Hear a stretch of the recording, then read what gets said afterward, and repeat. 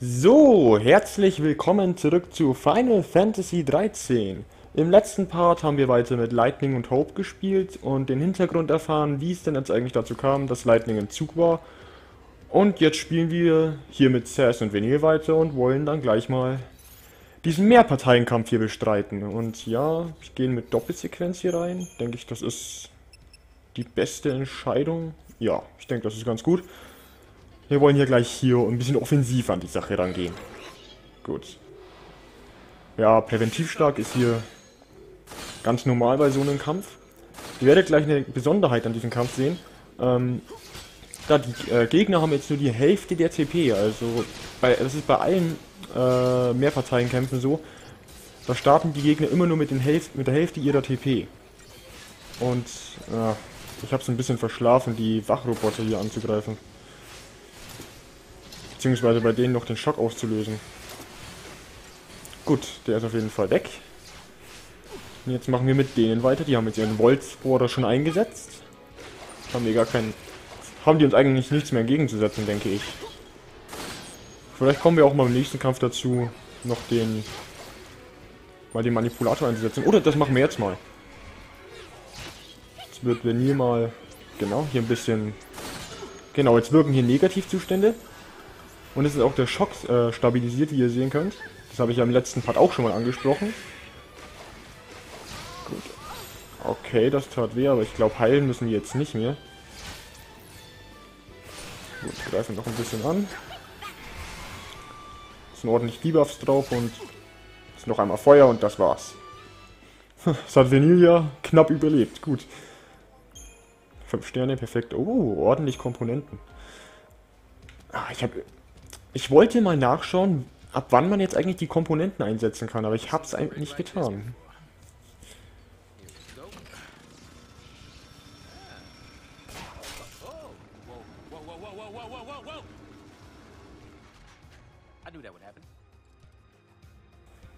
Hab ich's doch gewusst. Ja. Sass kennt sich halt mit Maschinen aus, ja, ja. So, dann machen wir hier mal weiter. Oh, ich glaube, das werden jetzt hier alles so mehr Parteienkämpfe, wenn ich mich nicht täusche. Also könnte sein. Hier ist gleich der nächste auf jeden Fall. Ähm. Hm.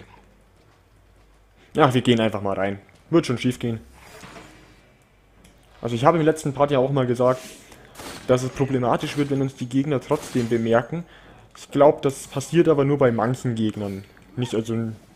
Das können glaube ich, im späteren Spielverlauf ein paar Gegner uns äh, trotz dieser äh, Kampfsituation uns bemerken, aber diese hier noch nicht. So. Jetzt machen wir den noch weg. Oh, ich glaube, das schaffen wir gar nicht mehr. Oh. Das war ein bisschen schlecht getimt. Naja. Dafür ist der andere schon fast erledigt. Dann machen wir hier eben weiter mit Manipulator. So. Dann ist wenigstens der Schock auch ein bisschen stabilisiert. Gut. Ja, haben wir doch gut im Griff. Jetzt noch ein bisschen... Ein bisschen draufhauen, dann ist der auch weg. Ja. Und der andere hat ja schon Negativzustände drauf. Ja, jetzt hat er welche. Jetzt gehen wir wieder auf Doppelsequenz. Und jetzt müsste der eigentlich ziemlich schnell weg sein. Ja, machen weit über 100 Schaden und das ohne Schock. Das ist schon mal nicht schlecht. Noch einmal Aero drauf und das war's. Perfekt. Perfekt. Gut, 16, ja, 16 Kristallpunkte ist jetzt nicht gerade die Welt. Habe jetzt gar nicht mehr im Kopf, wie viel die, die Kristalle denn jetzt eigentlich gekostet haben. Ja, gut, 90. Das ist natürlich schon ein gutes Stück. Da werden wir erstmal ein bisschen sammeln müssen, bevor wir dann noch groß was machen können. Gut, schauen wir mal weiter. Ich glaube... Ja, da war eine Schatztruhe und gleich... Oh. Okay, also bei dem Kampf schnappen wir uns am besten zuerst mal die anderen Gegner, beziehungsweise dünnen die gleich mal ein bisschen aus, bevor wir uns den, den Pulsroboter vornehmen. Das wird, denke ich mal, das Intelligenteste sein. Weil wenn wir den Pulsroboter zuerst besiegen, dann gehen alle anderen auf uns los. Und das denke ich, ist dann auch nicht so optimal. So. Einer schon mal im Schock. Versuchen wir den anderen noch zu erwischen. Yep. Zwei im Schock. Kriegen wir die ersten schon mal richtig easy weg. Fenil, hau drauf. Ja, bitte. Na gut, beim anderen ist der Schock jetzt auch schon weg. Na gut. Aber dafür haben wir ihn ja schon vorher gut geschwächt. Gut, ist der erledigt. Jetzt die... Ich sag mal, zwei der Wachroboter so sollten wir wegmachen und dann schnappen wir uns den, den anderen Roboter. Nee, Wachdrohnen. Habe ich gerade die Wachroboter gesagt? Ja, ich meinte Wachdrohne. Gut. Ich hoffe jetzt mal, dass wir nie... Doch, die haut drauf. Und hat ihn erledigt. Naja, gut. Dann müssen wir uns dann eben mit dem rumschlagen. Bekommen wir auch hin. Die Negativzustände sind drauf. Jetzt müssen wir ihn ja, müssten wir ihn eigentlich ganz gut wegbekommen. Also mit Deval und Prote äh, Deprotest müsste jetzt eigentlich anstatt äh, halbierten Schaden äh, müsste jetzt äh, normaler Schaden sein. Oder beziehungsweise was? Ja, normal. Jupp, und auch lässig erledigt. Und wieder einen Haufen Komponenten bekommen. Perfekt. Äh, ja, hier lag, lag hier die Schatzkiste. Mal schauen. Ein Schwarzgurt. Äh, was war denn das nochmal? So, auf jeden Fall Ausrüstung. Hm, physische Resistenz. Hm. Auch, warte mal. Sass hat noch mehr CP als Vanille jetzt inzwischen. Ich glaube, wir können ihm eigentlich mal was anderes geben. Ich frage jetzt, wen gebe ich diesen? Ich habe hier noch diesen Silberraumreif, wen gebe ich denn den? Äh gebe ihm mal diesen Schwarzgurt. Denke ich mal, kann nicht schaden, weil den Eisenreif braucht er jetzt nicht, nicht zwingend. Ja gut, dann gehen wir mal weiter. Und hier können wir wieder was bedienen.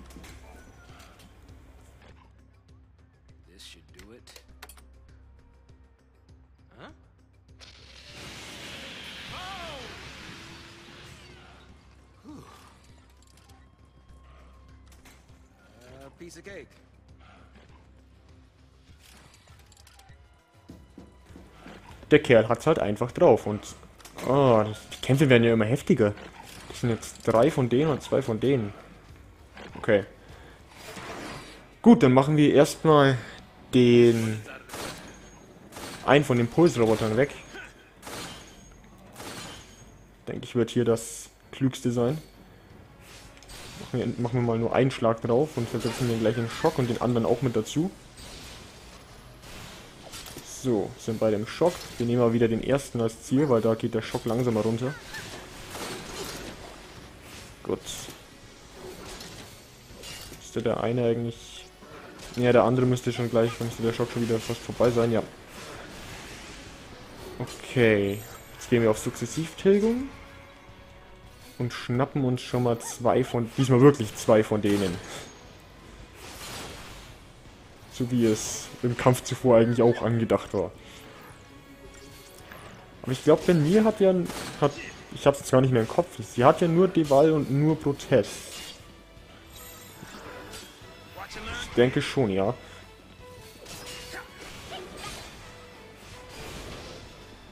Was ich eigentlich auch mal machen könnte, wäre ein bisschen mit den mit den Argumentor-Fähigkeiten zu arbeiten.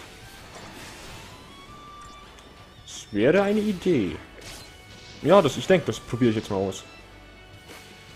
Also machen erstmal den weg. Ja, perfekt. Und jetzt gehen wir auf, genau, Diversionsgefecht. Ja, da seht ihr die Argumentor-Fähigkeiten. Die brauchen nur leider äh, zwei ATB-Balkenabschnitte. Das ist jetzt noch ein bisschen schlecht, weil wir eben nur drei haben. Das heißt, wir können nicht zwei auf einmal machen. Müssen wir einzeln, Stück für Stück da dran gehen. Na gut, dann gehen wir jetzt mal auf wieder auf Doppelsequenz. Jetzt sind wir ein bisschen gestärkt. Oh. Er ist, hat den Roboter besiegt, okay. Hm. Ich frage mich, ob ich jetzt trotzdem die Kristallpunkte dafür bekomme. Das ist die Frage. Die Frage der Fragen. Aber ich denke, jetzt können wir erstmal ein paar Kristallpunkte verteilen. Das haben wir ja durchaus ein paar bekommen. Also zwei, ja, zwei Kristalle sind drin. Äh, da habe ich noch gar nicht angefangen. Ah, da haben wir aber schon mal Feuer. Das ist nicht schlecht. Da habe ich bei ihr den Manipulator erst fertig gemacht. Na gut. Ja, beim Heiler kamen keine neuen Fähigkeiten. Dann machen wir mal mit dem Verheerter weiter. Und dann haben wir auch bald Feuer und dann hat Vinyl noch ein paar mehr Möglichkeiten, Schaden zu verursachen. Gut. Ja, D-Protest und D-Wahl. Na gut, aber da kommt, damit kommen wir ja klar. Das ist zum jetzigen Zeitpunkt ja, denke ich, noch, noch ausreichend.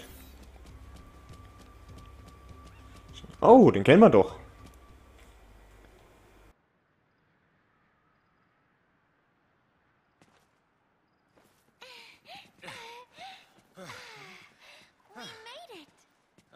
Where's Grumpy? Hmm. Left behind, huh? Leave me alone. Hey!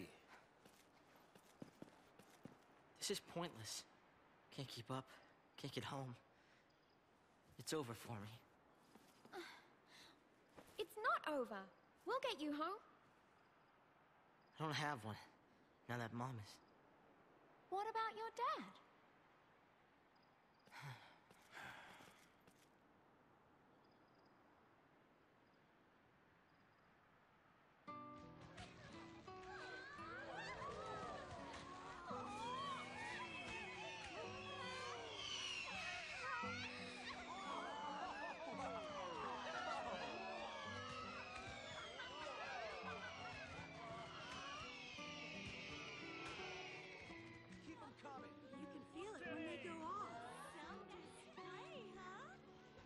Not making a wish, Hope? Mom, you still believe in that kind of stuff? Wishing on fireworks? Really? That's for little kids. what are you calling kid? To You? What'd you wish for? Oh, that next year, your father could come with us. Why? It's better like this. We don't need him. That night, they found the fal'Cie in the boat Bodum vestige. The next day, soldiers sealed off the town, and we couldn't get back to Palom Polum.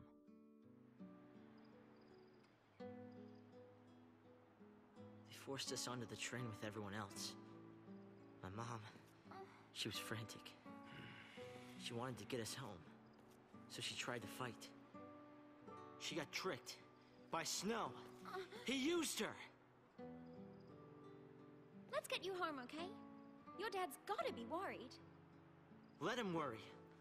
Why should I care? He doesn't. Any father cares. Sass? It's nothing. Forget it. Huh. Come with me, okay? Mm -hmm. This ought to do it.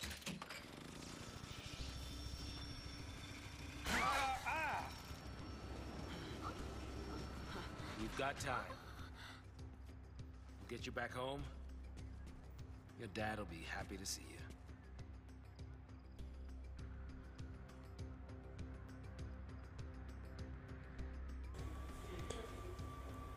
So, jetzt haben wir auch mal erfahren, was eigentlich mit, mit äh, Hope los ist, beziehungsweise wie Hope eigentlich dazu gekommen ist, im Zug zu sein. Gut, Mutter und Sohn. Hope ist mit seiner Mutter aus Palum Polum nach Bodum gereist, um das berühmte Feuerwerk zu sehen. Doch zu ihrem Unglück entdeckte das, das Psychon genau an diesem Abend den Puls for sie in dem nahegelegenen Residuum. Am folgenden Morgen wird ganz Bodum unter Quarantäne gestellt und da Hope und seine Mutter sich zur falschen Zeit am falschen Ort befinden, werden sie Opfer der Purgation. Da kam keine Seite mehr, oder? Ja, okay. Gut, die Geschichte, ja gut. Das haben wir ja jetzt miterlebt. Und Hope ist jetzt mit in der Gruppe dabei. Da können wir jetzt ein bisschen auch ein paar Paradigmen mehr erstellen. Äh, ich habe schon weiter alle Fähigkeiten, die Hope haben kann. Ich denke schon. Ja, haben wir alles. Ja, dann entwickeln wir mal seinen... Ja, nee, machen wir hier mal nicht weiter, weil jetzt kostet dieser Kristall wieder über 100. Machen wir lieber hier weiter. Na gut, Angriffskraft bringt ihn jetzt nicht so viel. Aber naja. Hm. Wir haben ja das kleine Proble Problem, sage ich mal, dass wir keinen äh, keinen Brecher im Team haben. Das macht es ein bisschen schwer, ähm, hier den Serienbonus äh, hochzutreiben. Deswegen, deswegen ist Eiserne Kaskade hier bestimmt eine ganz gute Alternative. Und ich erstelle mal noch. Oder machen wir. Moment. Machen wir äh, Hope mal zum Heiler und die beiden zum Manip äh, Augmenter Manipulator, ja. Drakonische Liga, eine meiner Lieblingsparadigmen, also vor allem im späteren Spielverlauf, habe ich sehr gerne benutzt, diese Zusammenstellung. Natürlich abhängig von Charakteren, die man so dabei hatte, aber so grundsätzlich finde ich dieses Paradigma richtig, richtig nice. Gut, okay, da haben wir jetzt wieder einen Roboter, gut. Da werden wir am besten mal... Hm, wie machen wir das dann am besten? Ich könnte ja eigentlich auch... Machen wir das mal so. Vergeltungshymne. Dann kann es äh, Sass ein bisschen Ne, machen furiose Gegenwehr, greifen so an. Ja, das... Beziehungsweise buffen uns ein bisschen hoch. Genau. Na gut, jetzt...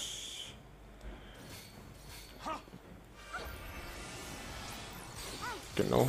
Die schockt und wir gehen auf Disaster. Alles klar. Müsste der Kampf eigentlich so gut wie gegessen sein, weil jetzt auch noch seine... seine seine Resistenzen äh, gesenkt sind. Venier macht noch ein bisschen extra Schaden, weil sie ja eh drin, hab, drin hat.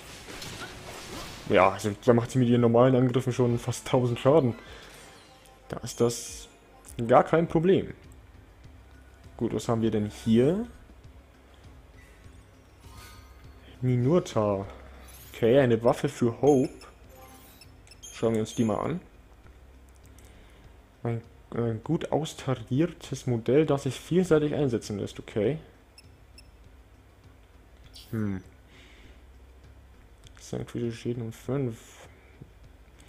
Ja, zu diesen Fähigkeiten kann ich mal was sagen. Ihr seht ja, ähm, dass vor diesem physischen Schaden ist dieses kleine Symbol mit diesem mit diesem Kreis hin hinter dem nochmal angeschnitten, so ein Kreis ist. Das sind äh, sogenannte... Gott, wie hießen die denn? Ähm, Nexus-Fähigkeiten, glaube ich, hießen die, wenn ich mich nicht täusche. Nein, ich glaube, es heißt Fertigkeiten hier. Auch hier ist das so. Ähm, die bekommt man, wenn man entsprechend äh, Ausrüstung anlegt. Also jede, jedes Ausrüstungsstück gehört zu einer sogenannten Nexus-Gruppe. Also ich denke, so war's. Ähm, und wenn man mehrere Ausrüstungsgegenstände aus derselben Gruppe angelegt hat, dann bekommt man so eine Nexus-Fähigkeit freigespielt. Ich weiß gar nicht mehr, was es für welche gibt. Da habe ich, mich, hab ich mich ehrlich gesagt nie so sehr damit beschäftigt. Und ich weiß auch gar nicht, was diese Fähigkeit eigentlich macht. Aber ich, ich weiß nicht. Ich kann es mal ausrüsten, weil der, äh, die physische Angriffskraft von, von Hope bringt uns ja eigentlich eh nicht, weit, nicht weiter viel. Hm. Ah, diese Fähigkeit, ich denke irgendwie... Hm. Ja, Im Notfall bringt das natürlich mehr, wenn wir in einer kritischen Situation ein bisschen mehr wegstecken, beziehungsweise wenn Hope ein bisschen mehr wegsteckt. Aber ich, ich benutze mal die andere Waffe, weil ich glaube, die hatte ich noch nie ausgerüstet und würde mir die gerne mal anschauen. Gut, dann gehen wir mal weiter. Mal schauen, wo müssen wir jetzt eigentlich hin? Ja, da müssen wir ein gutes Stück laufen. Aber naja. Ja, könnten mal schauen. Immer noch nicht. Weil wir können die Komponenten dann hier an, der, an so einer Speicherstation einsetzen, wenn wir sie denn irgendwann mal tatsächlich benutzen können. Das nervt mich immer noch, dass ich nicht mehr weiß, wann wir die einsetzen können. Wie kommt jetzt eigentlich das Haupt gerade mehr Kristallpunkte hatte als die anderen? Habe ich die nicht alle verbraucht? Oh, lass mal die Waffe sehen. Okay. Schaut nicht übel aus. Ja, kann man lassen. Definitiv. Ich liebe die Geräusche, die Sass macht, wenn er seine Positivzustände wirkt. Müsst ihr mal ein bisschen drauf achten. Vielleicht macht es wieder. Ja. Gelegentlich macht er die. Gut. Hat jetzt, okay, es sind schon zwei. Na, das war jetzt ist ein bisschen doof, weil jetzt geht natürlich der Schock weit, ähm, schneller runter, weil ja, weil wir nicht angegriffen haben, während die Negativzustände gewirkt worden sind. Aber gut. Ist, denke ich, stabil genug. Wir haben Negativzustände drin und wir haben gesteigerte, gesteigerte Attribute. Ja. Wunderbar. Hm, aber trotzdem plus drei Sterne. Naja. Ist jetzt nicht so, dass wir oh, unbedingt auf 5-Sterne-Wertungen angewiesen sind. Jedenfalls momentan nicht. Oh, wow, wow, wow, wow. Langsam, mein Freund. Ja, bei denen müssen wir doch ein bisschen aufpassen. Äh, wie machen wir das denn am besten? Könnten natürlich mal mit eiserner Kaskade starten. Ja, das probieren wir mal.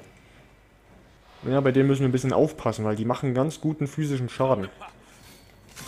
Analysieren wir die erstmal. Okay, die haben keinen so hohen Schockwert. Ja, natürlich haben wir dazu noch keine Infos, logisch. So. Ja, knüppeln schon ganz schön dein. Haben und die haben es voll auf Vanille abgesehen, wenn ich mich nicht täusche. Er führt mächtig, mächtige physische Angriffe aus, allerdings. Ja, und sie gehen weiter auf Vanille los. Machen wir erstmal einen nieder. Wechseln jetzt mal auf äh, grüne Kette. Schauen erstmal, dass Vanille sich noch ein bisschen heilt und machen dann weiter mit eiserner Kaskade. Hoffen, dass sie noch die Wahl drauf kriegt, ja. Und jetzt auf Disaster und vollen Damage Output. Perfekt. Gar kein Problem. So. Ja, das mit den Kristallpunkten lohnt sich, glaube ich, nicht, hier groß was zu verteilen. Ja, gehen wir einfach mal weiter.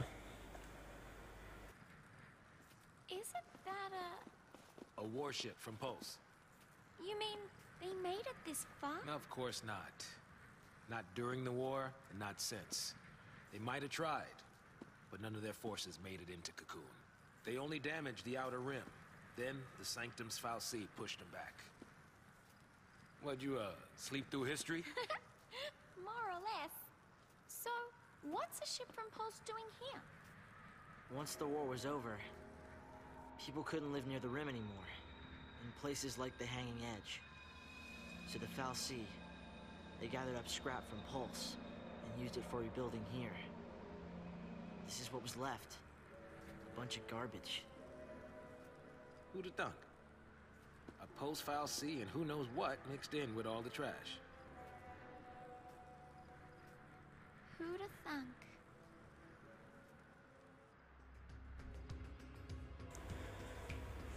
Wer hätte das gedacht? Ja, neue Daten erhalten. Mal schauen. Okay, Historie und Legende. Ah, der Transgressionskrieg. Genau.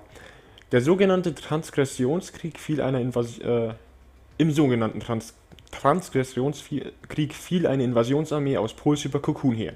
Nur mit vereinten Kräften der Cocoon Force und Lessie kon konnte die Invasion abgewehrt werden. Bei den Kämpfen nahm die Außen Außenhülle Cocoons schweren Schaden, doch eine größere Katastrophe konnte verhindert werden. Für ihre Rettung empfinden die Menschen den, die Menschen den Fossil gegenüber tiefen Dank. So, und dann noch das Pulsresidium. Im Transgressionskrieg wurde, wurde die Außenhülle Cocoons stark beschädigt und einige Gebiete wurden unbewohnbar. Für den Wiederaufbau schafften die Cocoon Force Baumaterial aus Puls nach Cocoon. Auch Bodum wurde mit Material aus Puls erbaut. Das Pulsresidium wurde vermutlich zusammen mit dem übrigen Baumaterial nach Cocoon gebracht. Alles klar, jetzt kennen wir uns da auch ein bisschen aus. Also, dieser bereits angesprochene Krieg zwischen Puls und Cocoon ist ja schon, also ist ja schon öfter thematisiert worden. Jetzt haben wir auch mal einen konkreten Namen dafür.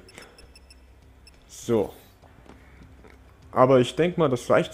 Das ist erstmal genug für heute. Das war Final Fantasy 13. Beim nächsten Mal machen wir hier weiter. Bis dahin, ciao.